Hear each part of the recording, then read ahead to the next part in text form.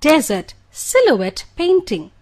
Follow the steps to make your desert silhouette painting. Color the ground using watercolor as shown. Now, color the sky background using watercolor as shown. Allow it to dry.